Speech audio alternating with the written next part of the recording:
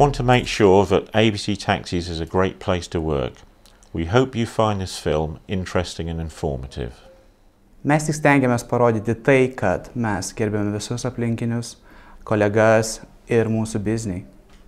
Chcemy jako korporacja ABC prezentować najlepszą obsługę klienta.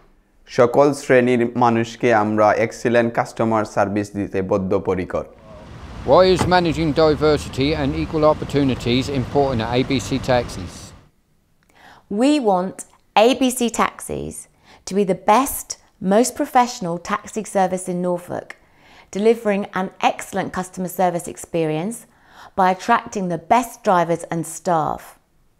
This will make ABC Taxis the preferred choice for customers and third parties, like hotels. Our goal is that all different types of people feel comfortable working here and feel they are treated with respect and that all of our customers feel respected and treated like individuals too. What exactly does equal opportunities and managing diversity mean? It means that ABC Taxis is committed to treating everyone equally and encouraging a workforce made up of different types of people. It also means that we need to treat all our customers appropriately. In particular, we need to understand some of the sensitive issues around protected characteristics that we may experience with the different types of people we work with and give a service to. We understand this can sometimes be a challenge as we are providing a service to thousands of different people with different needs, priorities, and sensitivities each week. Does it mean everyone get the paid the same? Equal opportunities doesn't mean that everyone gets paid the same or has the same working hours, as different jobs and roles within the company have different requirements. What are protected characteristics?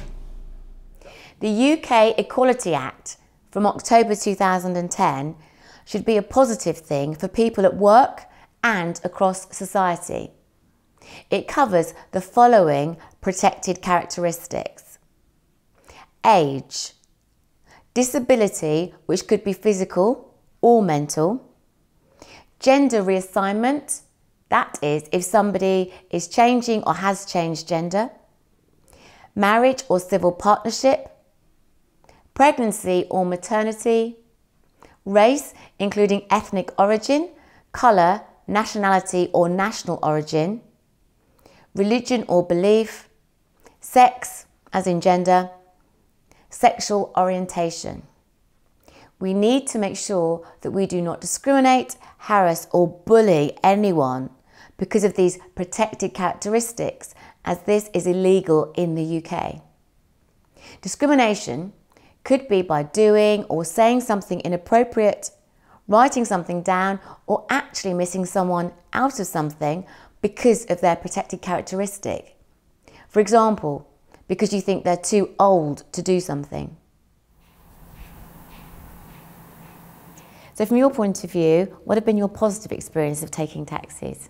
Well, from my experience of getting a taxi, it's often pretty good actually. I've noticed that people are pretty helpful and friendly and they're willing to help out. Um, I haven't had too many embarrassing or awkward experiences really. People have been always quite ready and quite friendly to do whatever I've needed them to do to help me out. So, what are things that you think that taxi drivers could do differently or better? Well, if I'm at home or in a place like here where I know quite well, it's okay. But if I get picked up from an unfamiliar place, I don't know for sure where the taxi is. Um, I might not be sure if the taxi is actually standing there waiting for me because there's two different things here. The car might be running, so its diesel engine might be running. I might stand there thinking, well, is that a taxi or is that just a normal car waiting? The other slight shock can be if there's a hybrid car, these quieter cars now. So I might not even know there's a taxi there for a start. So on situations like that, when I'm particularly in an unfamiliar area, whether the taxi driver could maybe come out and help me, they might show me where the car door is. They don't need to help me get into the car, but show me where the door is. That's particularly helpful. Um, when I get maybe dropped off at the destination, again, if it's an unfamiliar place, it's quite good if they could take me, for example, into the train station till I find the passenger assistance people to help me get on the train. I find that quite useful because I find areas like that very difficult to navigate around on my own as I have no sight. So it's really useful if they could just give me a bit of support and guidance when it comes to that. And what are the key messages that you would like us to take back and share with the taxi driving community? I would just say when you spread this around the taxi driving community, you know, it's always best to ask what kind of support the customers need. When it comes to sight loss, it's quite a wide ranging field. So, you know, a lot of people do have some residual sight left over. So some people might need some support. If that's the case, then great, you know, find out what that person needs. If that person doesn't need help, don't be kind of offended or disappointed by that. But equally saying that if somebody does need some assistance, just be ready to offer that at any time and, and um, find out what they need. Normally it's quite a straightforward thing to do, I'd like to think, and makes people feel a lot better as well when they help somebody out. Thank you, Ed. You've made some really interesting points there that I'm sure everyone's going to find really helpful. What exactly is discrimination? There are four types of discrimination. Direct discrimination. This is where you're treated less favourably than someone else because of a protected characteristic. For example, if you are not to be offered a management job because you are a woman, or not offered a secretary job because you are a man. Another example would be refusing to pick up a customer because they were gay or black.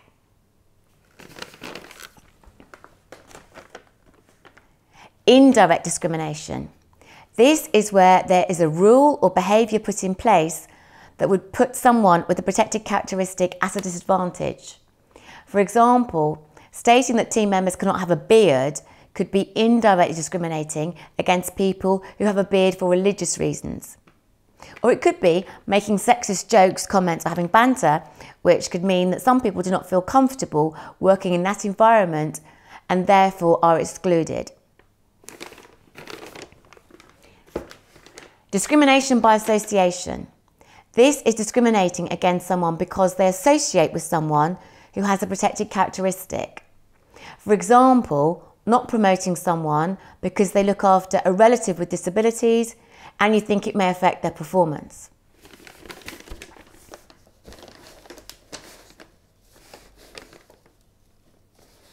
Perception discrimination. This is discriminating against someone because people assume they have a protected characteristic even if they don't.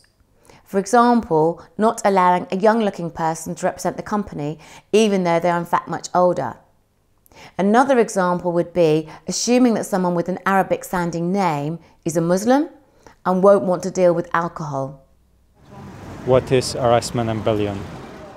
Harassment and bullying are when offensive, intimidating, or intrusive behaviours or language are used to undermine, humiliate, upset, or injure someone. It is possible for someone to feel harassed or bullied even if that wasn't the intention.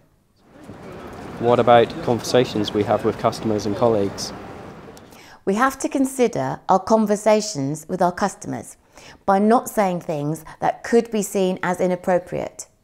For example, jokes or comments or stereotypes about race, religion, or sexuality, even normal for Norfolk type comments, could be seen as stereotyping and are therefore not appropriate.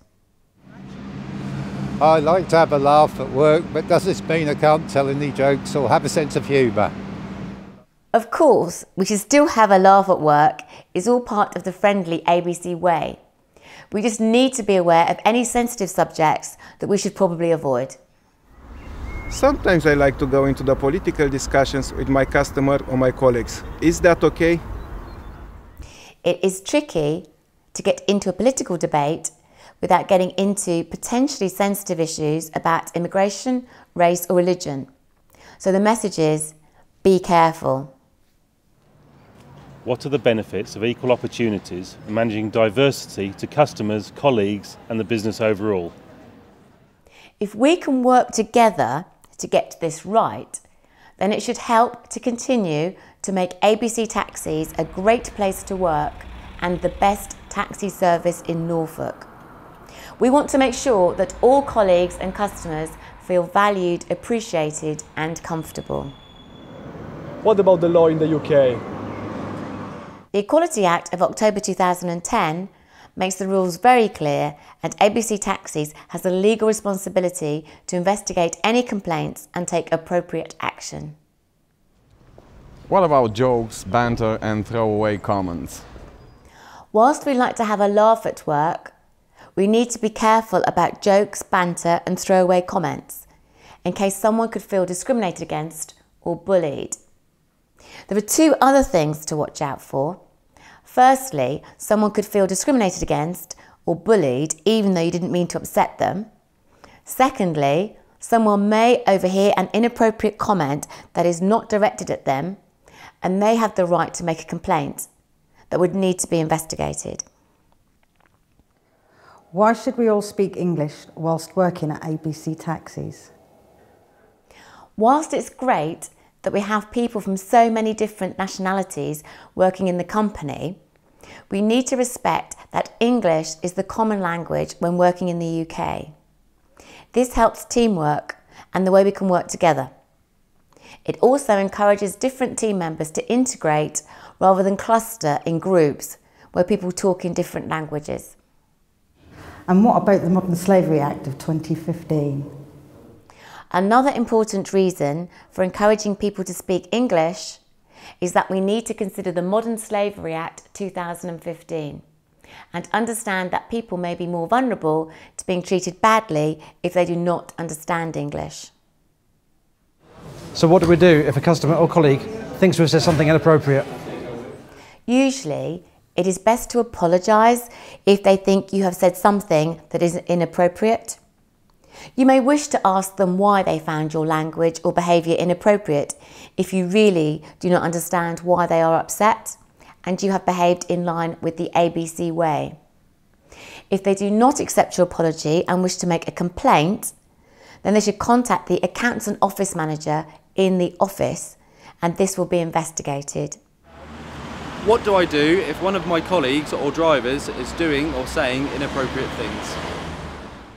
You should tell the day or night driver's manager and ask them to investigate it. What should I do if I feel my colleagues are being discriminated against? You should tell the day or night driver's manager and ask them to investigate it. What should I do if a customer is saying inappropriate or offensive things to me or asking me personal questions which make me feel uncomfortable?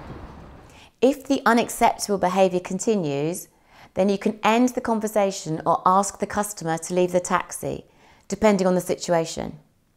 You should tell your day or night driver's manager so the relevant person can be blocked on the system.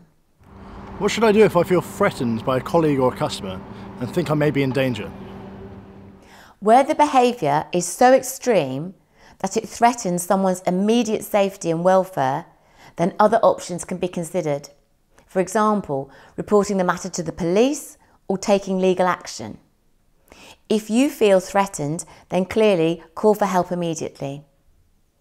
If a customer makes a threat of any nature, then you must inform one of the directors or the day or night driver's manager immediately so he can decide if further action is needed. For example, alerting the police. If you have any ideas how we can improve the way we manage diversity and equal opportunities, please tell your line manager. We want everyone to see that ABC Taxis is the people's taxi service.